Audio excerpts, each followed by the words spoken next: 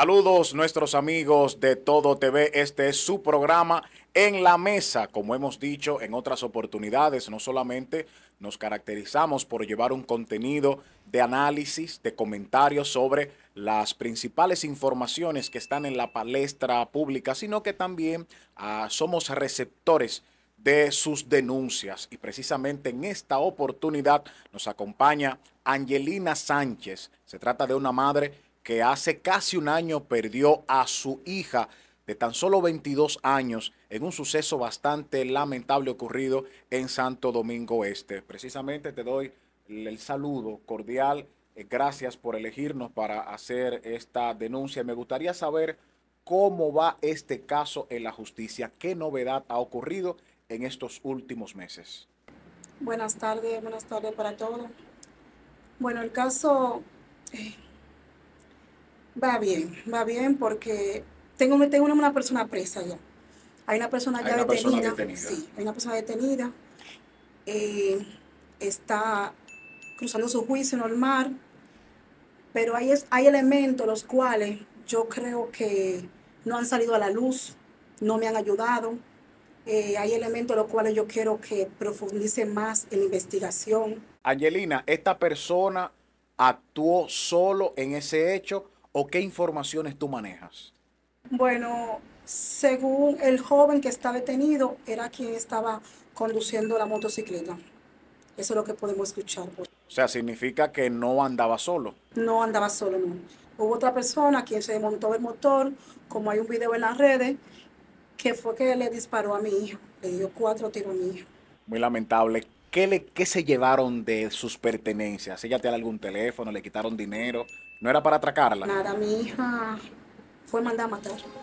Lo de mi hija fue un sicariato, no fue, no fue para atracarla ni nada, porque habíamos más personas ahí, con teléfono, con cadena, y fue solamente a mi hija que entró en un tiro. Estamos hablando de que se trata de un sicariato. ¿Ustedes tienen la sospecha de quién la mandó a matar? ¿Qué sucedió con tu hija que tú entiendes que desencadenó esta tragedia?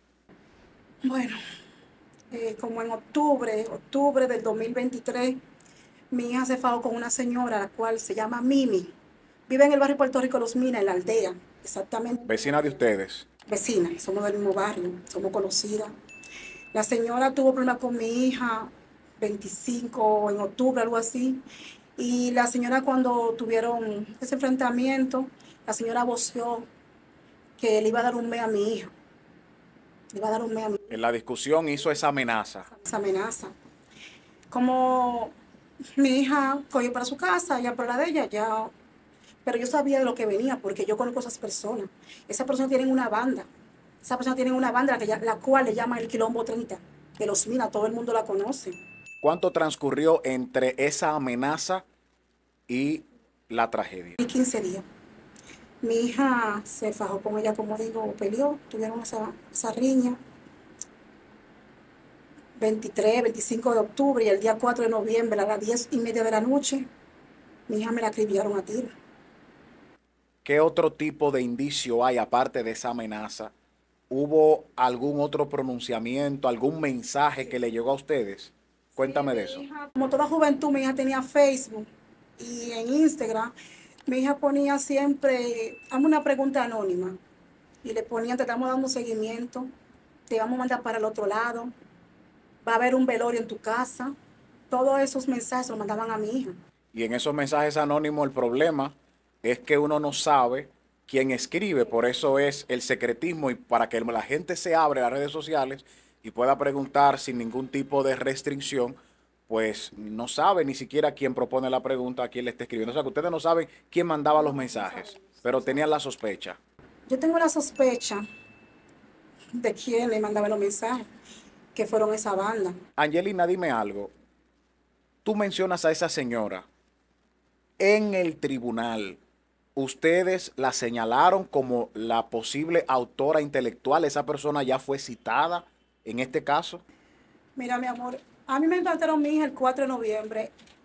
El día 5 o 6 de noviembre yo fui al Felicidad de los Minas y la primera persona que yo mencioné fue a Mimi.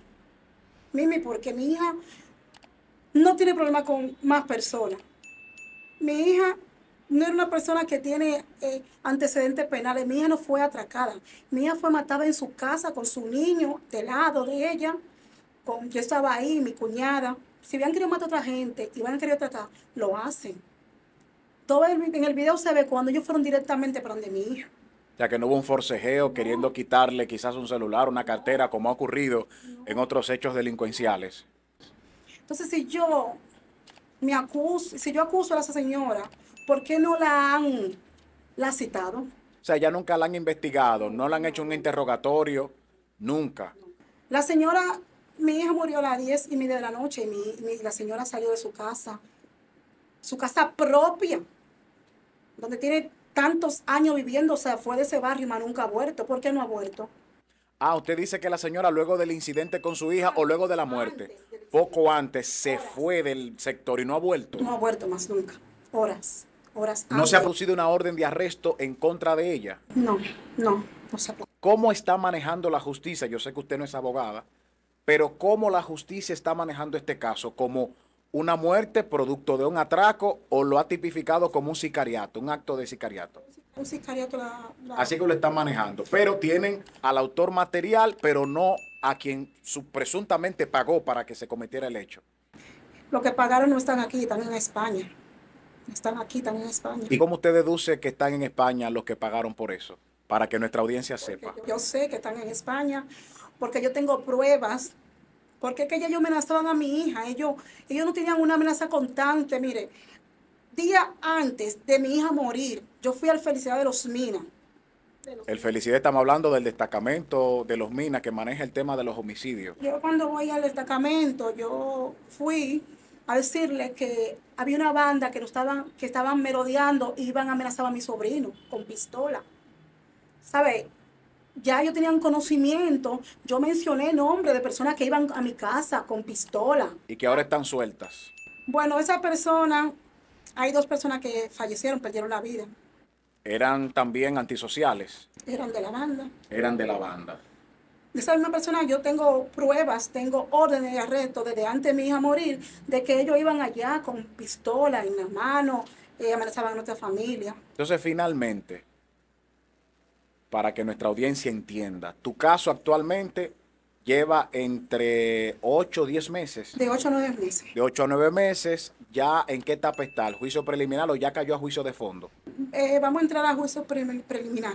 Ok, o juicio de fondo. Sí, ya está la última audiencia del juicio preliminar. Es la última audiencia donde el juez va a determinar si existen los elementos suficientes para llegar a la última etapa, que es el juicio de fondo. ¿Cuál es tu inconformidad eh, hasta este momento? Las cámaras. ¿Qué Las pasa con las cámaras. cámaras? Bueno, mira, por ejemplo, en un barrio donde tú tienes 43 años viviendo, tú sabes qué calle entra, qué calle sale, qué calle... ¿Cuántas cámaras hay en esa zona, por ejemplo? Yo no he visto una cámara de ese. Eh, Dicrim fue, homicidio fue, levantaron todas las cámaras. ¿Por qué no me han enseñado las cámaras? Yo quiero ver las cámaras, porque fue a mi hija que me mataron. Yo quiero ver cada una de las cámaras que levantaron, que yo fui con ellos, y me levante esa cámara, que por aquí pasó el motor, porque yo sé por dónde pasó el motor, yo vi todo, yo estuve ahí, yo presencié la muerte de mi hija. Yo vi con todo. Entonces, hay una cámara que es la que está en las redes que le subo siempre. Es la cámara que yo entregué. La única cámara que hay. O el único video que hay. Porque lo entregué yo. Y si yo no entrego ese video, no hay nada. Se cae el caso. Se cae mi caso, se cae el caso de hija. Ellos no le confirmaron ni siquiera si tiene su abogado que le dice que esos videos él se ha tenido acceso porque son los medios de prueba que él tendrá en los tribunales. Solamente existe el video que usted te entregó. Franklin Césped, el fiscal de, de. Supuestamente tiene esas cámaras, pero no esos videos y no me lo muestran. No me lo Y su muestran. abogado lo ha visto. No lo muestran. No muestran video, no dicen nada, no, no, no llaman a la señora, porque yo digo que, por, por ejemplo, deben llamar a la señora y citarla. Que me haga un enfrentamiento, que me diga, mira, tú me estás acusando de esto, que yo no he hecho, que la lleven a una fiscalía. No han conseguido ni siquiera una orden de arresto en contra de ella, porque si no está en el sector, lo que procede es buscarla. No la han incluido en el expediente, ya no figura ahí.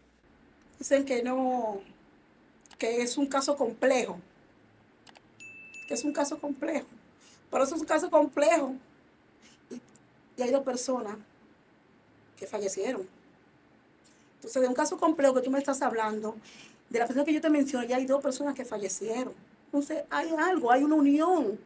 Unan ese muñeco, pero por favor que investiguen. Yo no pido que me crean, porque yo soy una madre que yo creo que me crean, pero yo quiero que investiguen, que analicen, que, que busquen, que llamen, que los teléfonos, hay teléfonos que yo sé que tienen prueba.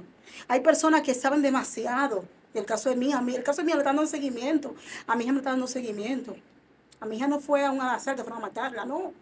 Hay una, una, un carro blanco que duró más de cinco minutos parado frente a mi casa.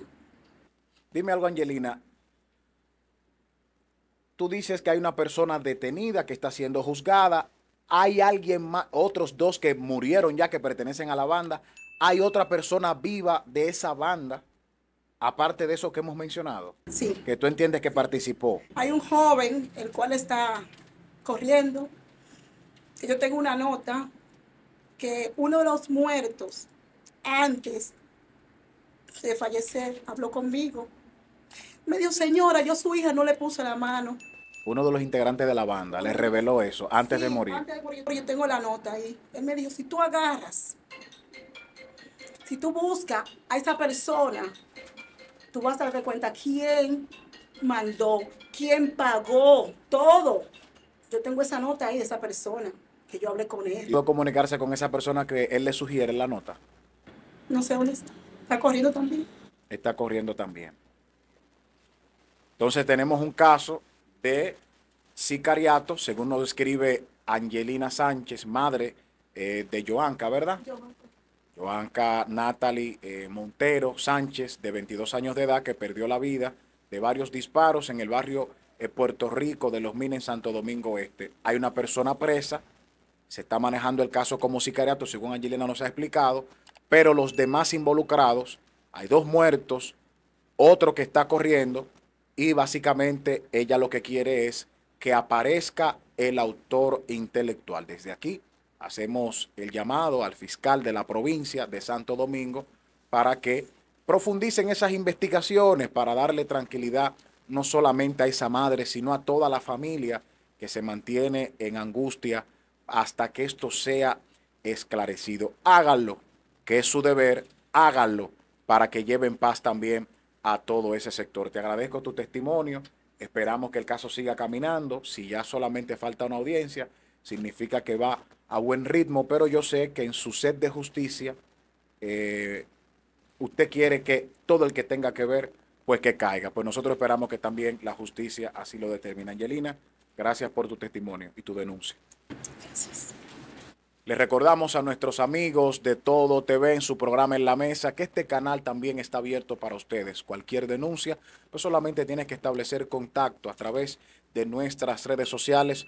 Nos pondremos en contacto con ustedes y también facilitaremos este espacio para ser voz de cada uno de ustedes.